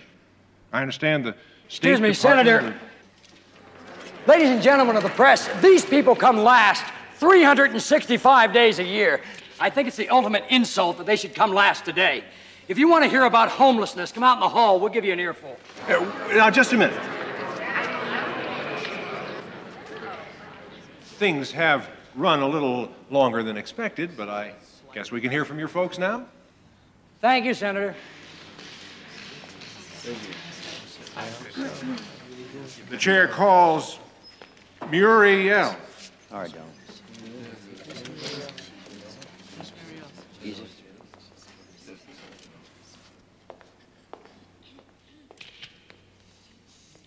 Let me tell you something, Mr. Bigwig Senator.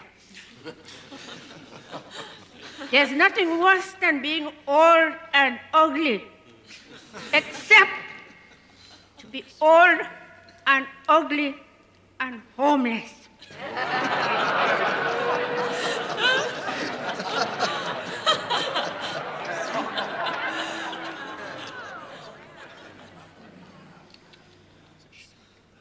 You laughing? You think it's funny not to have a place to lay your head at night, especially in the cold, or to have food to put in your stomach when you're hungry, or medicine when you are ill? I don't born here. I come here from the West Indies, but I'm a naturalized citizen and I work hard all my life. I don't deserve this. You too, someday may be old. We have to take care of our old people. We still have something to give. Don't take us and throw us away like a dirty dish rag, because you may be throwing away yourself. Thank you.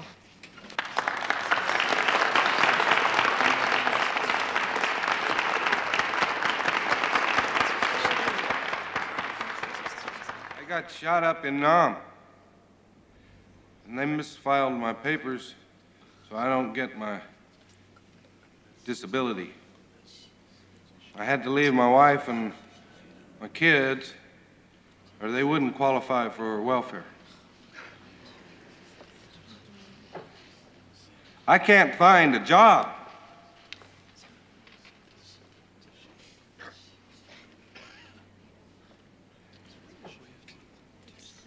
We all got the same story. Three or four solid slugs to the gut, and it knocks you in the street.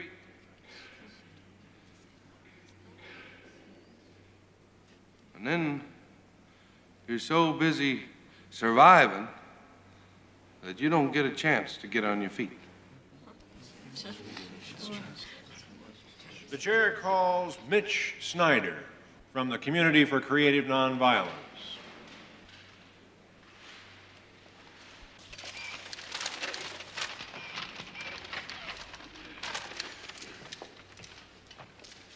These are the cremated remains of a human being, a man known only as John Doe, who froze to death on the streets, homeless and alone.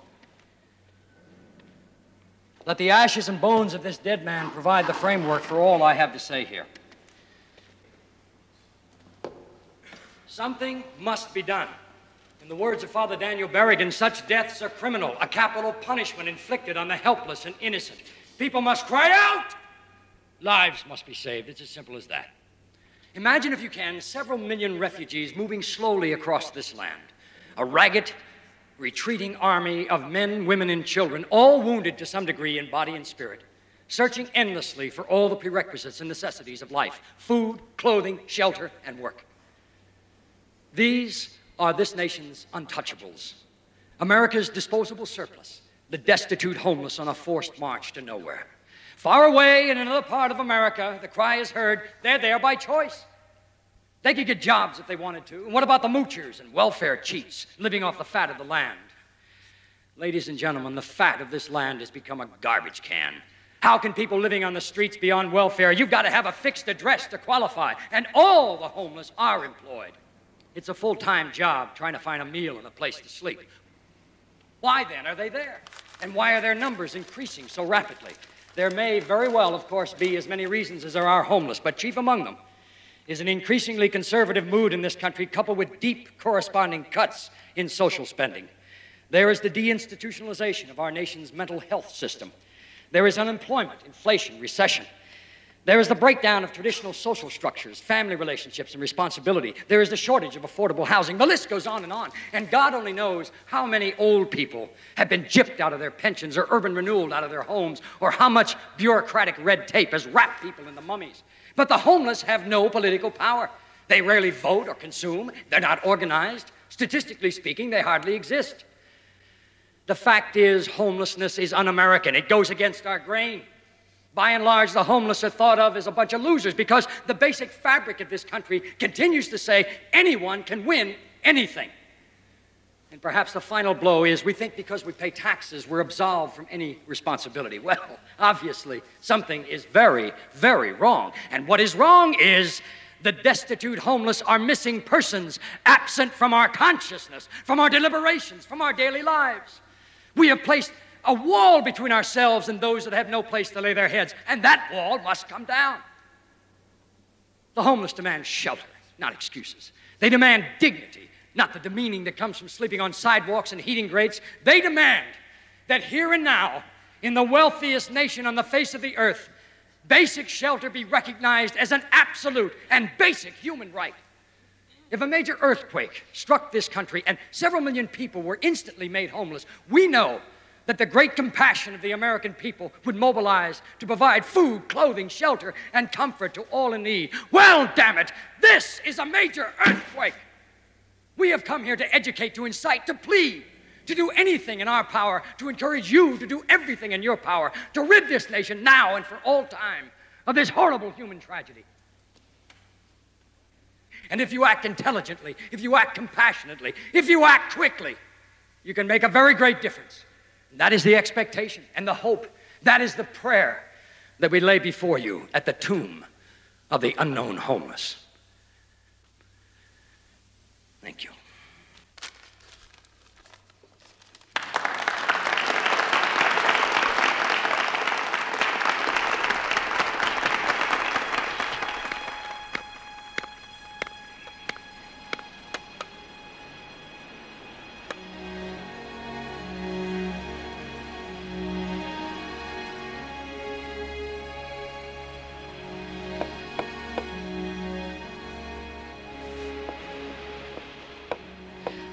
Stay and watch you commit slow suicide.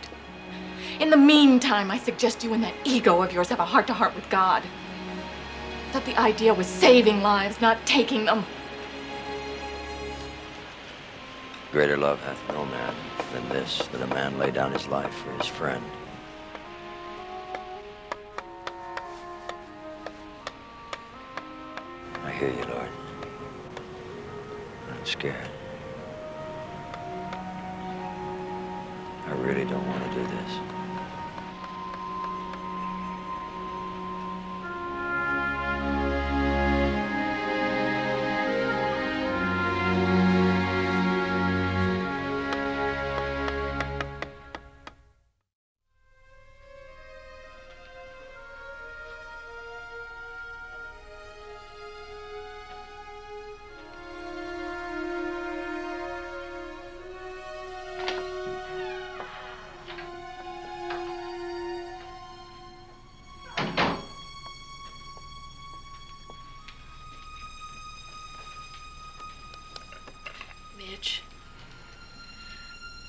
Extension. They're not moving us out.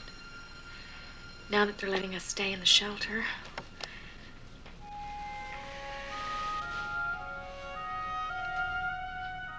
Are they gonna fix it up? no, but well, we've gotten some calls from several of the churches, and now with the work on the initiative, Hmm. Mitch, you've got to eat. It's been 42 days. No. No more patchwork. No more races against winter.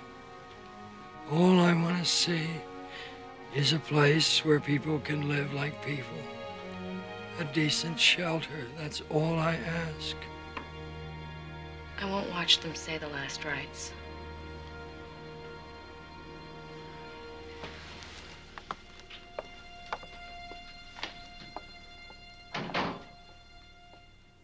The Lord is my shepherd, I shall not want.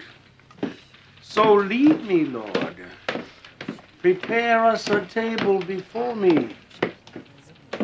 Table 10 commandments. Read all about it in the reading room. We'd like your support. Got bottled water and a water cooler.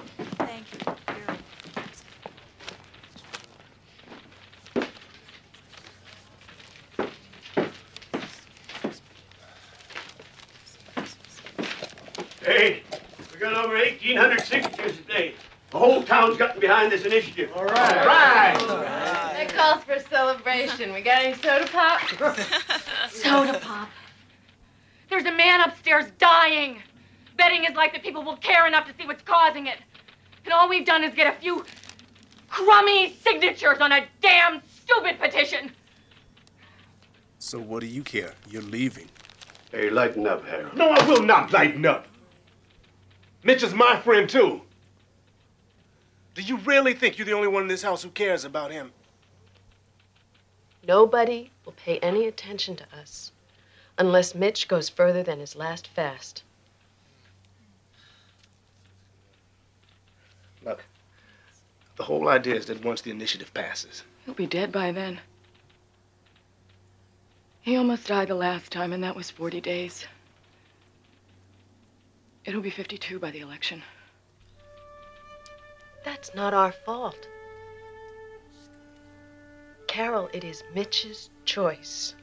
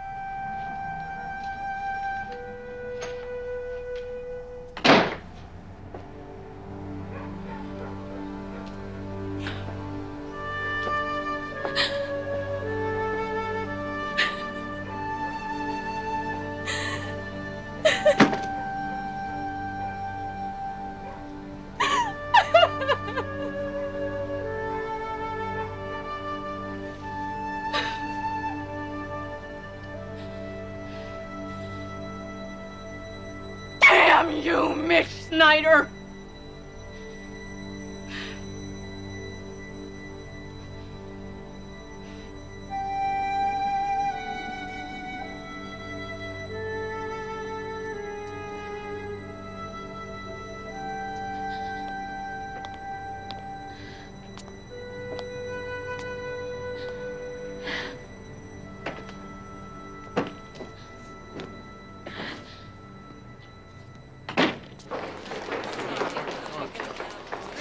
go see Diane.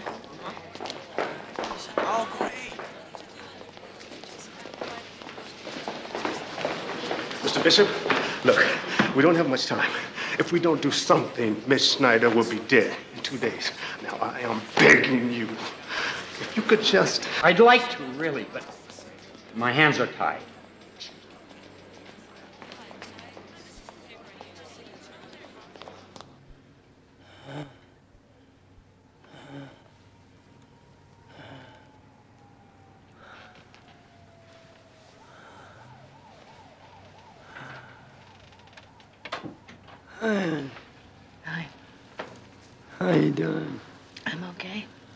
Except I'm gonna sue my Barbie doll. Huh. Growing up, life didn't turn out to be as I expected. Who's here? Hi. Look what I brought. Lunch. Hi.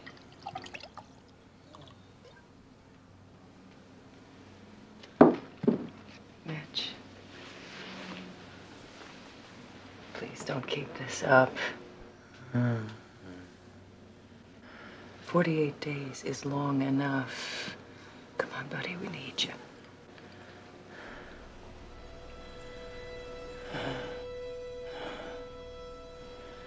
It's in God's hands now.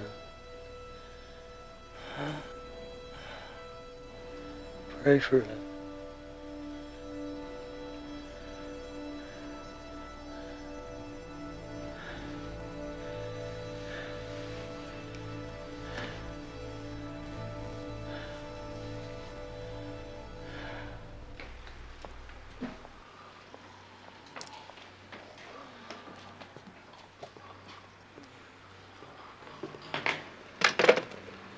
Say Mitch isn't going to make it through the night.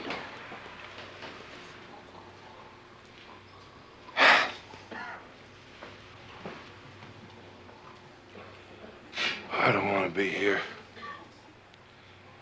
I want to be over at Euclid House.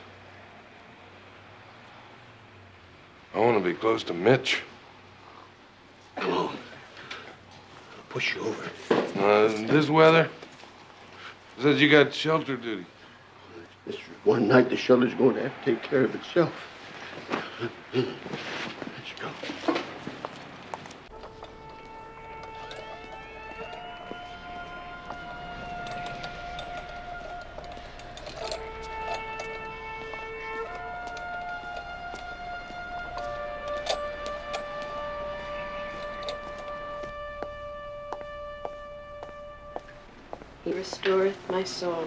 Leadeth me in the paths of righteousness for his name's sake. Yea, though I walk through the valley of the shadow of death, I will fear no evil, for thou art with me.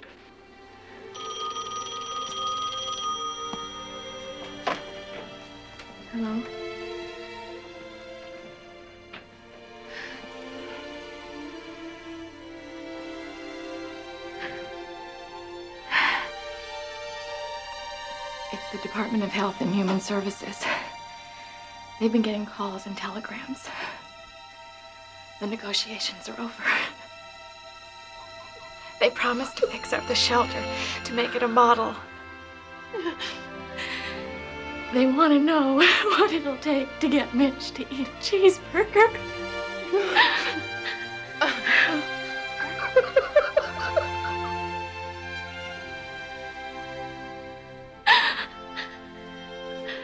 Tell him he's a vegetarian. Young lady, you better call the ambulance right now.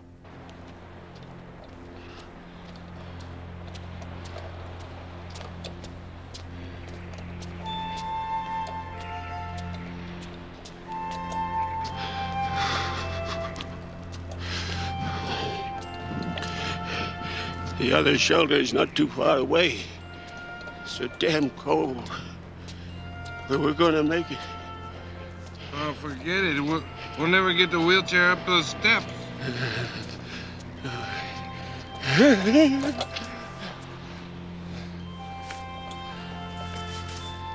There. No. You. No, you're the engine. You're the one needs the fuel. Here, go on. If we can get across the park, maybe maybe we can hail a car or a cop or something. Here, here. I mean, I'll pour it.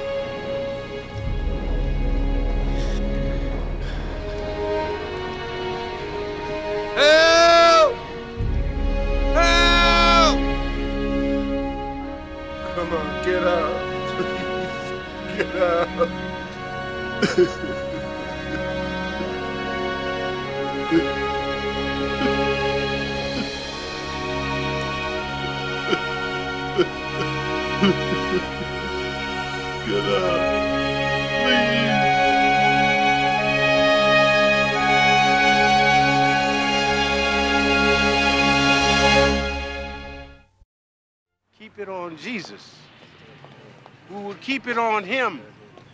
Who keeps it on us? Keep it on Mitch.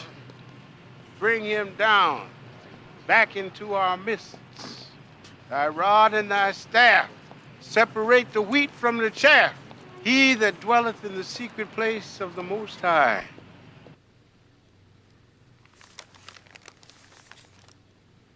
Carol. Carol. How are you, hon? I'm okay. How are you? Surprise, surprise. I'm still alive. no cartwheels, okay? That heart monitor's a little shaky. How are we doing on the initiative? We're winning in every precinct. Oh,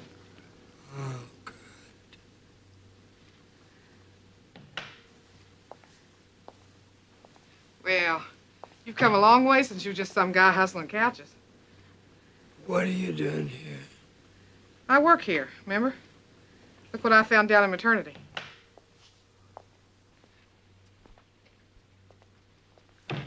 Oh, beautiful. Is it a girl or a boy?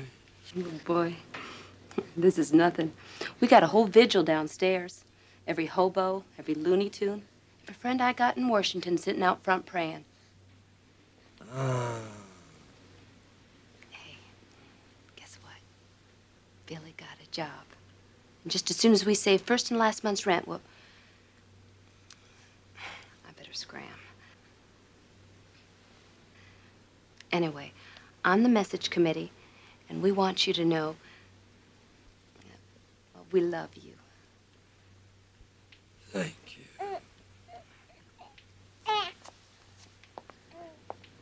Kathleen. Tell Mitch the baby's name. Mitchell Sam. Sam. That's short for Samaritan.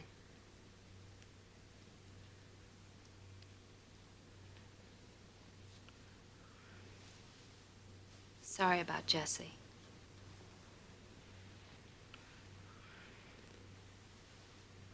What? I thought. We love you, Mitch. Carol. What happened to Jesse?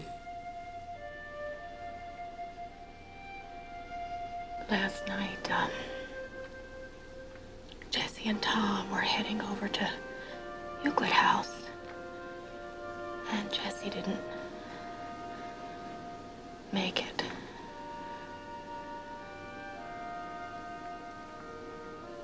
Jesse froze to death.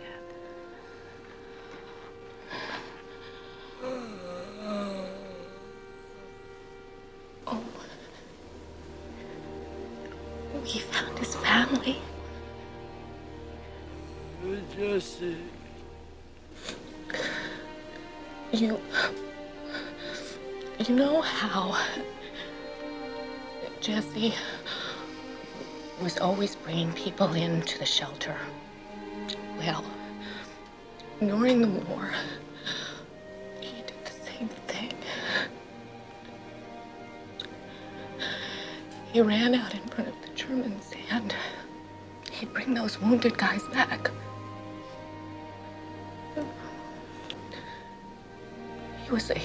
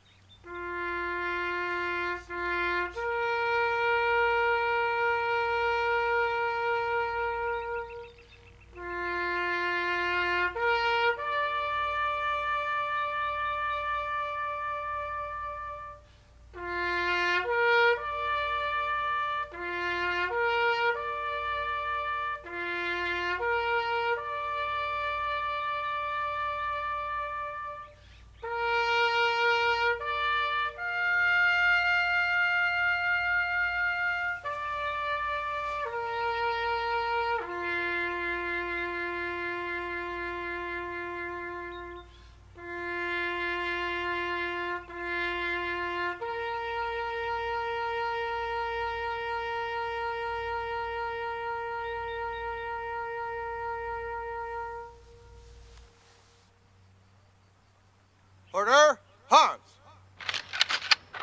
Parade, rest.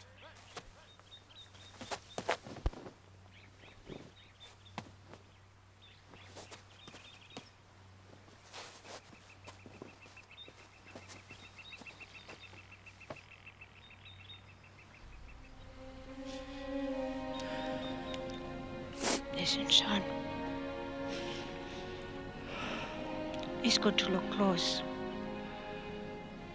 But it's also good to look far. For when you look far, you will see that this graveyard also meets with the sky.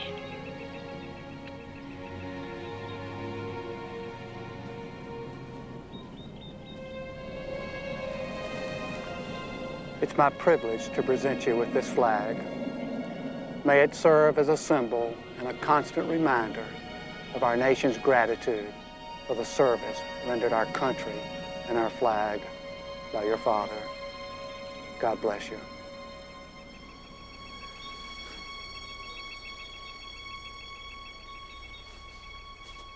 Ladies and gentlemen, this concludes the ceremony.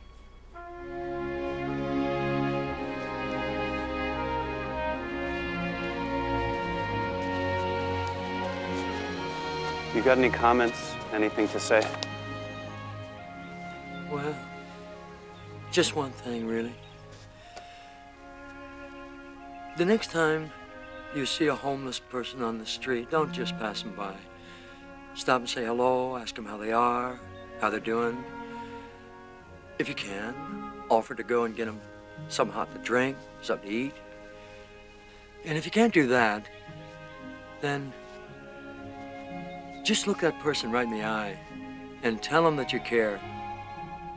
Because really, you're only looking in a mirror. Thank you.